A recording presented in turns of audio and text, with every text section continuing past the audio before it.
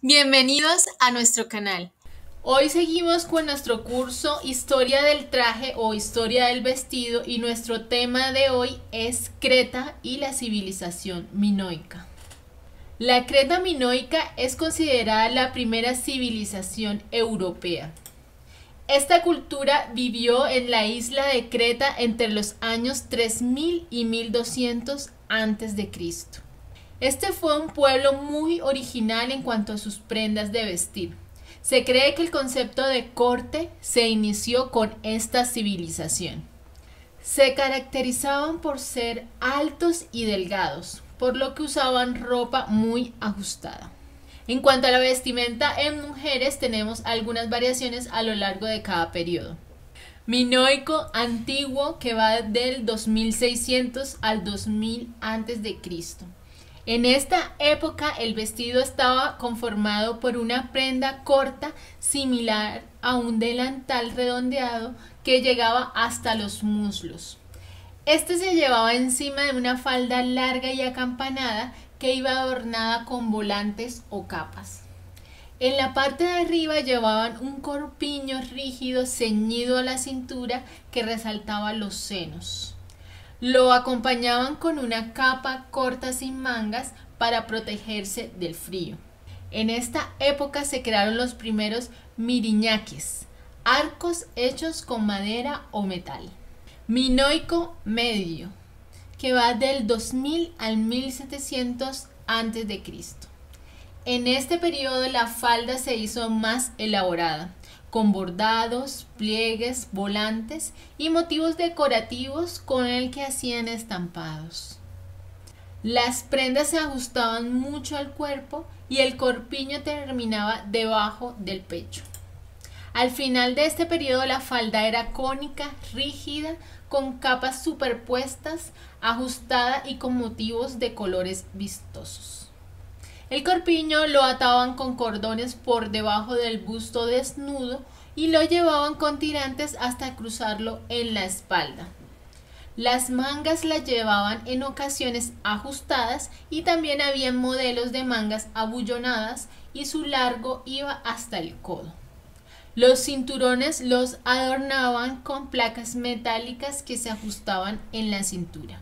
Y tenemos que en el minoico tardío, que va del 1700 al 1400 antes de Cristo, el vestido se hizo más refinado, más lujoso y más elegante. Las prendas ahora se llevaban con tejidos suntuosos y colores vivos como el rojo, el amarillo, el azul y el púrpura. Se usaban sombreros y tocados elaborados, también se llevaban botas altas y zapatos de tacón.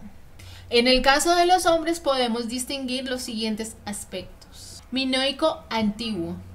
En esta época el traje era una falda corta o pampanilla, similar al shanty egipcio. Esta dejaba al descubierto el torso. La elaboraban con lino, lana o cuero. Algunas se ataban en la parte de atrás con un lazo largo tratando de simular la cola de un animal. Para sujetar pequeños delantales usaban cinturones de tela, metal, oro, plata o bronce y los decoraban con espirales y rosetas. Minoico tardío. La falda cambió y se comenzó a llevar hasta la mitad del muslo y se hacía con telas brillantes decoradas con motivos geométricos, avalorios y borlas.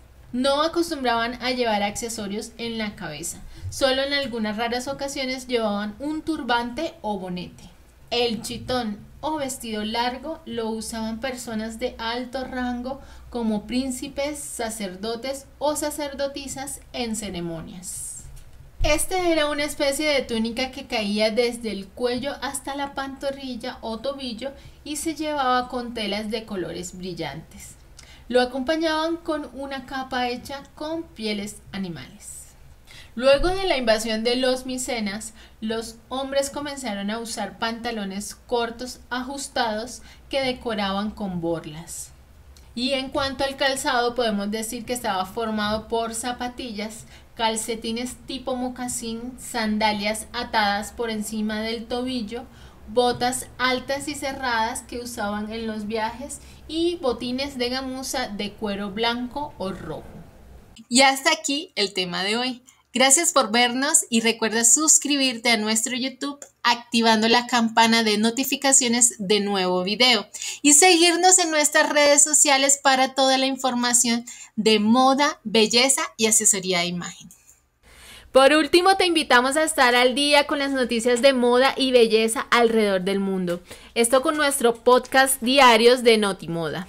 En la descripción encontrarás también el link para acceder o descargar los audios stylepoint.club, un punto de encuentro entre la moda y la belleza.